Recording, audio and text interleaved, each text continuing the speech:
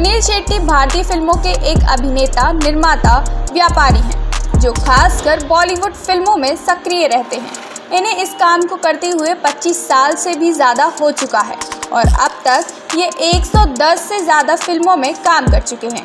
आहन शेट्टी भी एक भारतीय अभिनेता हैं वह दिग्गज बॉलीवुड अभिनेता सुनील शेट्टी के ही बेटे हैं। उनकी बहन आधिया शेट्टी भी फिल्मी दुनिया में सक्रिय रहती हैं। प्रतीक बब्बर एक भारतीय अभिनेता और मार्शल कलाकार हैं, जो मुख्य रूप से हिंदी फ़िल्मों में दिखाई देते हैं। अभिनेत्री शमिता पाटिल और अभिनेता राज बब्बर के बेटे, उन्होंने अभिनय करियर बनाने से पहले एक प्रोडक्शन असिस्टेंट के रूप में अपने करियर की शुरुआत की।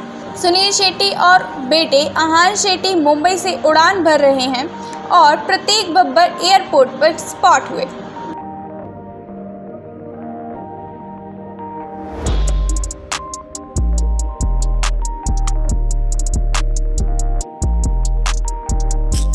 ऐसे ही कई सारे एक्टर एक्ट्रेसेस की स्पॉटेड वीडियो देखने के लिए बने रहे हमारे साथ और देखते रहे एस बॉलीवुड